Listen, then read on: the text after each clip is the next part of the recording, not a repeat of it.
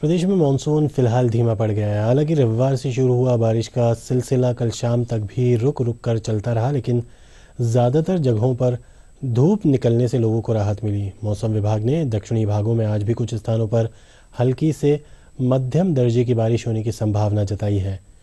इधर विभाग ने कोटा और बूंदी में येलो अलर्ट जारी किया है। इस, इसके अलावा भरतपुर धौलपुर और करौली के कुछ स्थानों पर आज हल्की से मध्यम बारिश की संभावना जताई गई है।